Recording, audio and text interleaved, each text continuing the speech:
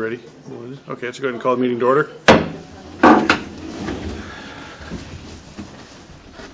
Pledge allegiance to the flag of the United States of America and to the republic for which it stands, one nation under God, indivisible, with liberty and justice for all.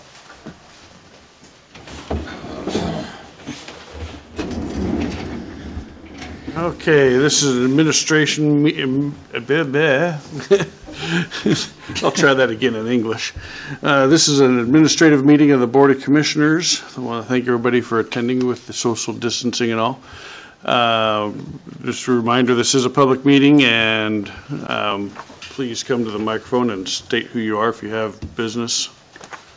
And,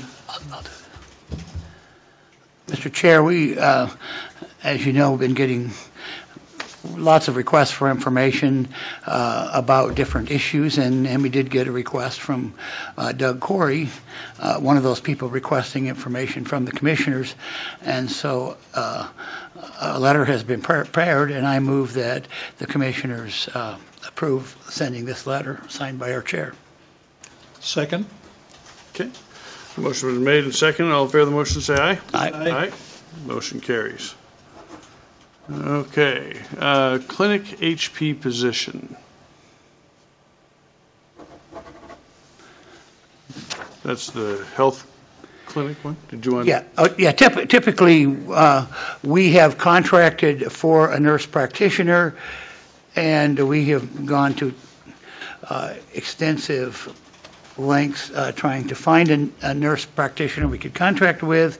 We have not uh, been able to do so, Uh, so- but we do have uh, an individual who's willing to work part-time in the same amount of capacity as a nur- nurse practitioner for us. They're very, very difficult to find, and I think this is hardly the time we would ever think of, of reducing our uh, medical staff or our ability to respond to the needs of the community. So I would move that we uh, engage the nurse practitioner. I would second the motion. Okay, got a motion and a second. Any further discussion? All in favor of the motion, say aye. Aye. Motion carries. And guidelines for reopening. I don't think those are any secret to anyone. Um, They are, they have been vetted uh, in staff meetings, and they have been vetted with our uh, Director of Public Health, our Medical Director, um, and have been sent to the Governor uh, at the request of both the Governor's Office and uh, AOC. Uh, I- You've all seen them, I won't go through them in detail, um, but all counties have been asked to do it. Counties are starting now to do it. There's, we're not the only one that has done it.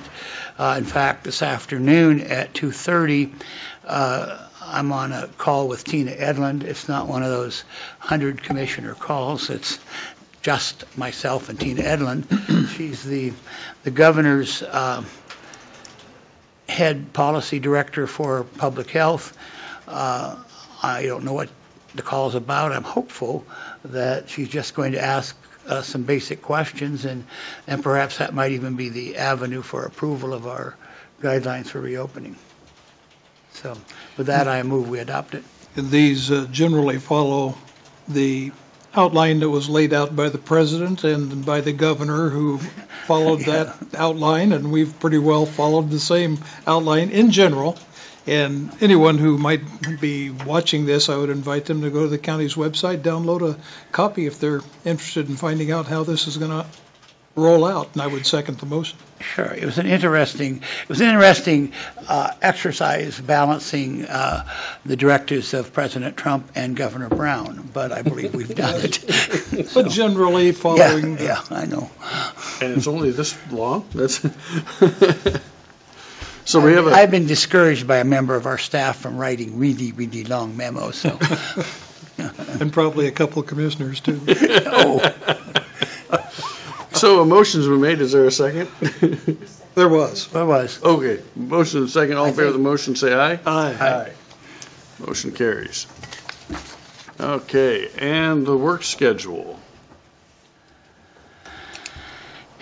You're on a roll. Did you want to just keep right on Oh, it sure. going? Um, We have, uh, for the last four weeks, had a uh, special work schedule that has provided for uh, a much smaller pr- footprint of our staff, uh, trying to prevent, uh, should, heaven forbid, there ever be a, a case in the courthouse, um, having a smaller footprint at any given time, having uh, portions of our staff not here.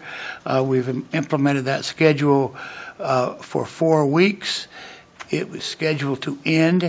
Uh, I would propose that uh, we extend that until, um, be approximately the same time as our proposal for reopening. Uh, I believe it would end on the 15th, and all staff would be back on the 18th. Okay, so Jennifer, just is that correct? to clarify, the 15th is a Friday, Right. and, So that would be the last day. Okay, so the 18th, that following Monday, was- we'd be f- back to full staffing levels. Right. Okay. And you made that motion? Uh-huh. Yeah, I was just reading this again. I'll, I'll second that. This extends what we had already previously done. Right. There's no wording change, Yes. other than the date. Okay, got a motion, and a second. All in favor of the motion, say aye. Aye? Aye. Motion carries. Okay, we do not have an executive session, so we are adjourned.